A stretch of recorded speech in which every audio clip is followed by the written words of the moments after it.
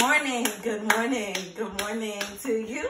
Good morning, five. How do you do? Good morning, guys.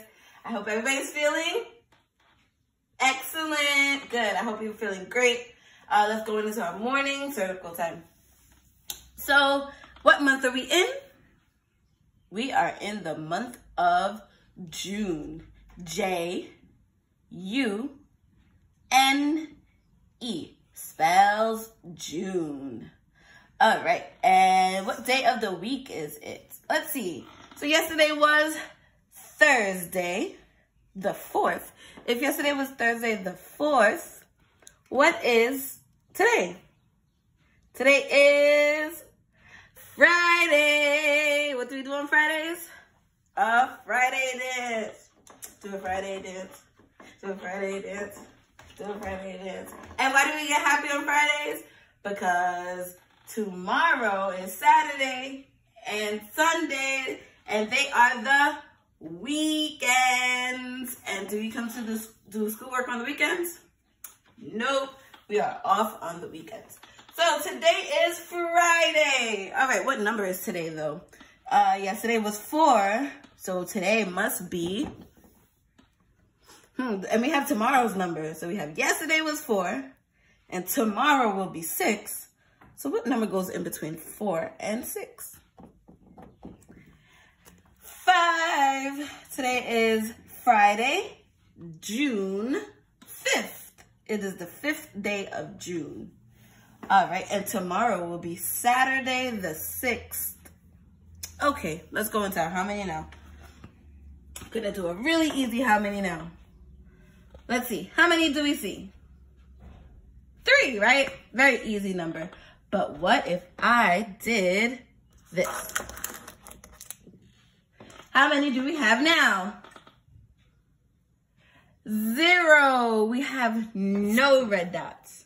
Zero. So three minus three, three take away three equals zero. We have no more red dots. All right, let's go into our unit. We are talking about this big word here. We are talking about transformation. Let's clap it. Transformation has four sounds, right? Four syllables. So transformation, and transformation is a big word for change, right? How things change. So we talked about a bunch of different types of transportation this week. We talked about how feelings can change, right? We talked about how objects can change, like the string that we wiggled and we made shapes with. We talked about how the weather can change. Some days are rainy, some days are cloudy, some days are hot, very sunny. Some days are very cold. And so today we're to look at we're to look at seasons, right? That's another one of our vocabulary word, seasons. Seasons also change. We talked about seasons at school, but we didn't really talk about seasons now. But we know that we are in the season of spring. And in springtime, what happens? It rains a lot. And the rain, the water from the rain helps the plants to grow, right? So the water from the rain helps the plants to grow. So during the spring, we have a lot, a lot of flowers growing. And we'll see a picture that looks like springtime. Let's see if you can see it. Let's see. Can you see this picture that looks like springtime on this side? So we see rainbows, we see flowers growing, we see the trees are full, right? So that happens in the spring. The next season that's coming soon in June is summer. And what happens in the summer? It gets really, really, really hot because the days are very, very sunny. So it's very warm outside. That's why in the summer, a lot of people like to go to the beach so they can cool off in the water. They play in the sand. So the summer gets really, really, really hot. Let's look at the picture of the summer. So we see the sun shining bright, right? Now the next season, can you guess what season that is? What's happening? the leaves are changing colors. So what season is that? That is the fall time. During the fall, the leaves change colors on the tree and then they fall, they get dry, right? And then they fall down on the ground. And we love stepping on crunchy, dry leaves, right? So in the fall, the leaves change colors and they fall onto the ground.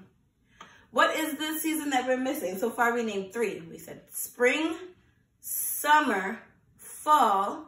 We're missing one season. Do you know which one's next? Let's take a look at the picture, see if you can guess it. It's really, really cold in that season. And we can use the snow to make snowmen. And the leaves are completely gone off the tree. That is in winter.